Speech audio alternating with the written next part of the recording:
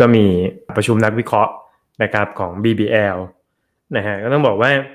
management ของ BBL ดูจะค่อนข้างสบายใจนะกับเอาลุกครึ่งปีหลังมากกว่า เมื่อเทียบกับมิ팅ของแบงก์อื่นๆนะครับอาจจะเป็นเพราะว่าฐานลูกค้าเขาที่เป็น corporate มันเยอะกว่าเนาะแล้วก็เลยทำให้ไม่ได้มีความกังวลมากนัก ต่อภาพการฟื้นตัวของเศรษฐกิจที่ไม่ได้สม่ำเสมอนะครับ ภาพใหญ่เนี่ย management ยังมองว่า GDP ไทยจะค่อยๆ ฟื้นตัวขึ้นในครึ่งปีหลังเนาะแล้วก็เศรษฐกิจไทยด้วยนะครับ โดยเขายังคงประมาณการ GDP growth ปีนี้ที่3%นะครับก็จะมากกว่าสำนักอื่นๆ พอสมควรนะครับ หลักๆเนี่ยก็มาจากหนึ่งเลยคือเรื่อง export นะครับที่เขามองว่ามันจะเริ่มค่อยๆ กลับมาฟื้นต่อเนื่องนะครับเพราะเห็นว่าพวก PMI ดัชนีต่างๆเนี่ยของประเทศหลักๆนะครับ EU US เลยพวกนี้เริ่มฟื้นนะครับเขาก็มองว่า export ไปทั้ง US ไปทั้ง China น่าจะค่อยๆดีขึ้นนะครับแล้วก็เห็นว่า wave ใหม่ของตัวพวก electronics component ด้วยนะครับที่ที่น่าจะเข้ามาช่วย export ของประเทศเรานะครับอันที่2เนี่ยเขาก็มองดีเรื่อง tourism เหมือนกันบอกว่าจำนวนนักท่องเที่ยวเนี่ยตัวเลขรายเดือนก็ดีขึ้นเรื่อยๆนะครับแล้วก็ไปถึงครึ่งปีหลังเนี่ยช่วงปลายปีน่าจะเห็นเดือนละ 3.5ถึง4ล้านคนได้นะครับก็เขาก็มองว่าอันนี้มีโอกาสออกมา beat สำนักอื่นเหมือนกันนะครับแล้วก็ สุดท้ายเนี่ยค่อนข้าง upbeat กับภาพ government budget นะครับที่ที่เบิกจ่ายได้นะครับก็ดูแล้ว management BBL ก็จะมองภาพใหญ่ที่ดีกว่านะครับเมื่อเทียบกับที่อื่นนะครับ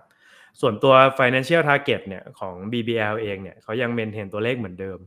นะครับในทุกบรรทัด แต่ว่ามันก็มีรายละเอียดบางบรรทัดที่ดูมี upside บางบรรทัดมี downside นะครับดังนี้นะฮะก็ตัวโลนโกรดเนี่ยเขายังคงไว้ที่ 3-5%อ่าครึ่งปีแรกเนี่ยทำไปได้ 1.8%น นะครับก็มาจากทั้ง domestic ที่เป็น corporate นะครับแล้วก็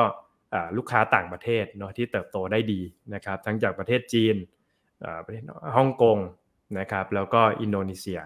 นะครับมีประเทศเดียวที่ยังแผ่วอยู่ก็คือเวียดนามนะฮะเขาก็มองว่าครึ่งปีก็ทำได้ 1.8 แล้วนะครับครึ่งปีหลังก็เห็นปลายลายก็น่าจะ achieve อยู่ในกรอบนี้ได้ 3-5%นะครับอันที่2เนี่ยคือนิม นะฮะนิมเนี่ยแต่ต้นปีเนี่ยตั้งเป้าไว้ที่ 2.8%ซึ่งก็จะต่ำนิดหนึ่งนะครับเพราะว่าแต่เดิมเขามองว่าจะมีการลดดอกเบี้ย นโยบายเนี่ยประมาณ 1 ครั้งตั้งแต่กลางปีนี้นะครับครึ่งปีแรกออกมาเป็น 3%ท่วนนะครับแล้วก็มองว่าเขาปรับมุมมองนิดนึงว่าปีนี้คงไม่ได้ลดแล้วแหละสำหรับตัวดอกเบี้ยนโยบายนะครับดังนั้นนิมก็จะเป็นส่วนที่มีอัพไซด์จากเป้าของเขานะครับ เสริมนิดนึงคือครึ่งปีหลังเนี่ยเขาก็มองว่าอาจจะมีผลกระทบกับนิมเล็กน้อยนะครับสำหรับตัวสินเชื่อที่เป็น US ดอลลาร์นะครับสินเชื่อต่างประเทศ เพราะว่าดอกเบี้ยไทยอาจจะคงที่ก็จริงแต่ดอกเบี้ยโลกนะครับทั้งฝั่ง ECB ฝั่งเฟสเนี่ยมีโอกาสที่จะคัดลงนะครับทางผู้บริหารก็มองว่าครึ่งปีหลังก็อาจจะเห็นนิมมันอ่อนลงนิดหน่อยจากฝั่งสินเชื่อที่ปล่อยกู้ต่างประเทศเข้าไปนะครับแต่ว่าอย่างไรก็ตามเบรนเดดแล้วเนี่ยทั้งปีก็น่าจะเกินเป้าข่าวที่ 2.8 นะครับ อีกอันหนึ่งที่ดีกว่าเป้าเนี่ยมันคือตัว cost to income นะครับ cost to income เนี่ยแต่เดิมตั้งเป้าไว้ที่ 40%ไปปลายก็คือ 4849 first half บอกมาได้ 45%นะครับครึ่งปีหลังเนี่ยปกติสูงกว่าครึ่งปีแรก แต่ว่าทั้งรวมๆทั้งปีก็อาจจะไม่ได้ดึงขึ้นไปสูงขนาดแบบว่าเป็น 48-49 เหมือนเดิมนะครับอันนี้ก็มาจากการบริหารค่าใช้จ่ายที่ที่ทำได้ดีแล้วก็รายได้ด้วยนะครับที่เป็นพวกรายได้ดอกเบี้ยอะไรพวกนี้แหละรายได้ค่าธรรมเนียมที่เข้ามาดีกว่าค่านะครับ ส่วนสุดท้ายคือ asset quality นะครับตัวเลขตรงนี้จะแย่กว่าเป้านะครับเป้าอย่าง NPL เนี่ยตั้งไว้ที่3นะครับ first half ออกมาเนี่ยได้ 3.2%น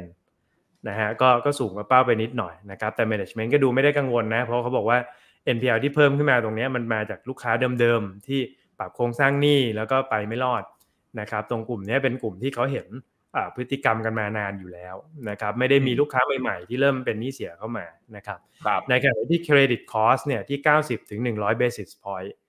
นะครับครึ่งปีแรกเนี่ยตั้งไป 140 basis point ก็เกินเป้ามาเยอะนะครับ management ก็บอกว่าจริงอยากตั้งเผื่อไว้แหละสำหรับความไม่แน่นอนในอนาคตนะครับก็ดูว่าอันนี้มีโอกาสที่จะสูงกว่าเป้าพอสมควรเหมือนกันนะครับคงไม่ลงไปถึง1แล้วครึ่งปีหลังอาจจะลดลง แต่คงไม่ได้ลดลงได้เยอะจนแบบมันกลับเข้าไปใกล้กับเป้านะครับแล้วก็ยังมองอยู่ที่ประมาณ 120 basis point น่าจะเป็นระดับที่เหมาะสมนะสำหรับทั้งปีนี้นะครับอ่าโอ้ออแล้วเนี่ยภาพครึ่งปีหลังกำไรคงสู้ครึ่งปีแรกไม่ได้ตาม seasonal ที่ไตรมาสสี่จะมีแบบค่าใช้จ่ายเข้ามาค่อนข้างเยอะนะครับแล้วก็ภาพ NIM ที่ที่ค่อยๆ ลดลงนะครับดังนั้นครึ่งปีหลังอาจจะไม่ได้ตื่นเต้นมากเมื่อเทียบกับครึ่งปีแรกแต่กำไรก็น่าจะยังอินไลน์กับที่เราทำไว้ทั้งปีที่ 41,000 ประมาณ 41,000 ล้านนะครับสำหรับ BBL เองเนี่ยก็ยังคงคำแนะนำซื้อนะครับที่ราคาเป้าหมายเดิม 148 บาทนะครับก็มองว่าเป็นแบงก์หนึ่งที่เห็นคุณภาพสินทรัพย์ยังค่อนข้างปลอดภัยอยู่นะเพราะว่าฐานลูกค้าที่เป็นรายใหญ่เนี่ยค่อนข้างเยอะนะครับแล้วก็ valuation ปัจจุบันที่ price to book ประมาณสัก 0.45 0.46 เท่าเนี่ย มันก็ค่อนข้างต่ำแล้วนะครับคิดเป็นลบ1 SD เมื่อเทียบกับมีนเนาะแล้วก็ต่ำที่สุดในกลุ่มธนาคารนะครับ ก็จะเป็นตัวหนึ่งที่ที่เป็นตัวแลกการ value pay ได้นะครับในกลุ่มครับไอซ์แล้วอย่างนี้ไอซ์คิดว่ายังไงไอซ์คิดว่าถ้าเรานับภาพรวมเราเคยคุยกันไว้ว่าไตรมาสสามเนี่ย กลุ่มธนาคารก็อาจจะทรงๆเออที่อาจจะไม่ได้ฟื้นแรงเพราะอย่างน้อยเนี่ยโลนโกลไม่ได้มีเนาะแล้วก็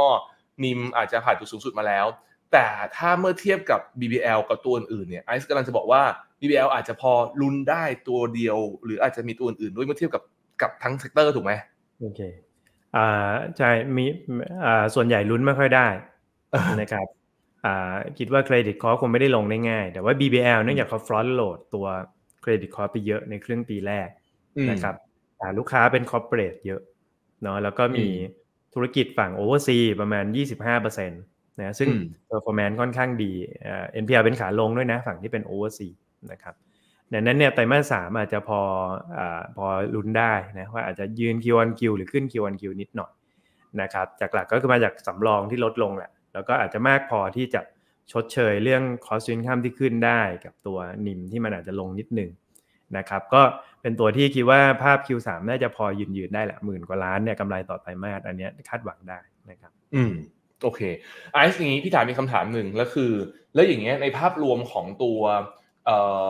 การตั้งสำรองอย่างที่ไอซ์พูดไปเนี่ย มันคือความหมายคือมันคือบริษัทหนึ่งที่เราเคยคุยนะไอ้ที่มันมีกับตัวในฝั่งตัว BBL เนี่ยคือเขาก็ยังจะยังยังหมายถึงว่ายังขอรอดูโปรเกรสก่อนถูกไหมอ๋อโอเคอ่าผมคิดว่าภาพนั้นคงค่อยๆอ่าตอนนี้ต้องดูโปรเกรสไปเรื่อยๆ